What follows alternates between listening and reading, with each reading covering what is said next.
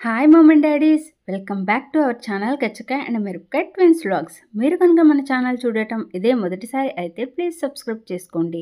ఈ వీడియో కనుక యూస్ఫుల్గా అండ్ ఇన్ఫర్మేటివ్గా అనిపిస్తే లైక్ చేయండి షేర్ చేయండి. మన సబ్స్క్రైబర్ ఒకరు కామెంట్ సెక్షన్లో ఇలా కామెంట్ పెట్టారండి. అదేంటంటే మ్యామ్ నెబులైజర్ని మస్ట్గా హాట్ వాటర్లోనే క్లీన్ చేయాలా? అని.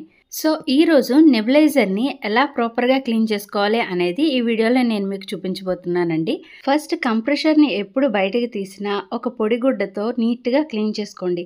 డస్ట్ అనేది ఎక్కడ ఉండకూడదండి. మీ ఇంట్లో ఇద్దరు పిల్లలకి నెబులైజేషన్ యూస్ చేస్తున్నట్లయితే కంప్రెషర్ అండ్ ట్యూబింగ్ ఒక్కటైనా కూడా మాస్కులు మాత్రం డిఫరెంట్గా ఉండేలా చూసుకోండి. మా ఇంట్లో ఇద్దరు పిల్లలకి యూస్ చేస్తాం కాబట్టి ఇలా డిఫరెంట్గా రెండు మాస్కుల్ని ఉంచుకున్నాం. మాస్క్ నెబిలైజేషన్లో యూస్ చేసే పార్ట్స్ అన్నింటినీ పక్కన పెట్టుకోండి.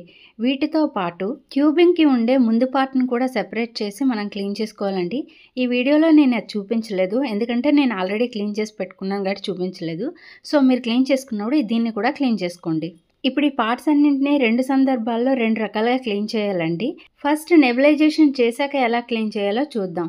ఇప్పుడు రెండు బౌల్స్లో వాటర్ని తీసుకోండి. ఒక దాంట్లో వేడి నీళ్ళని ఇంకొక దాంట్లో నార్మల్ నీళ్ళని తీసుకోండి. అండ్ పక్కనే ఒక టవల్ని పెట్టుకోండి.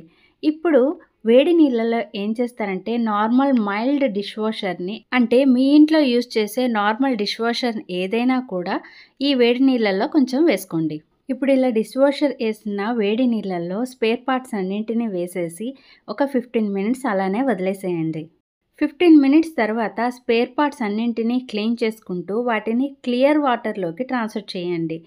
క్లియర్ వాటర్లో కూడా బాగా వాష్ చేశాక స్పేర్ పార్ట్స్ అన్నింటినీ కూడా ఒక టవల్ మీద వేసుకొని ఎయిర్ డ్రై అయ్యేలా ఉంచండి. అంటే అలానే గాలికి వదిలేసేయండి. ఆ ఫుల్గా డ్రై అయ్యాక ఒక బ్యాగ్లో కానీ లేదా ఒక డబ్బాలో కానీ వాటిని స్టోర్ చేసుకోండి. చాలా రోజుల తర్వాత నెబిలైజర్ని యూజ్ చేయాల్సి వచ్చినప్పుడు ఇప్పుడు నేను చూపిస్తున్న ప్రాసెస్ని ఫాలో అయిపోండి. అదేంటంటే రెండు బౌల్స్లో క్లీన్ వాటర్ని తీసుకోండి. ఒక దాంట్లో వెనిగర్ని వేసుకోండి. అంటే త్రీ పార్ట్స్ ఆఫ్ వాటర్ ఉంటే వన్ పార్ట్ ఆఫ్ వెనిగర్ని వేసుకోవాలండి. అందులో ఈ స్పేర్ పార్ట్స్ని అన్నింటినీ వేసేసి ఒక థర్టీ మినిట్స్ అలానే సోక్ చేయాలి.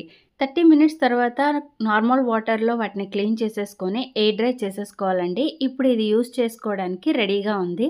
నార్మల్గా ఏంటంటే సమ్మర్ సీజన్లో మనం ఎక్కువగా యూజ్ చేయం. వాటిని క్లీన్ చేసి స్టోర్ చేసేస్తాం. కానీ వింటర్ సీజన్లో వాటిని యూస్ చేయడం అనేది స్టార్ట్ చేస్తాం.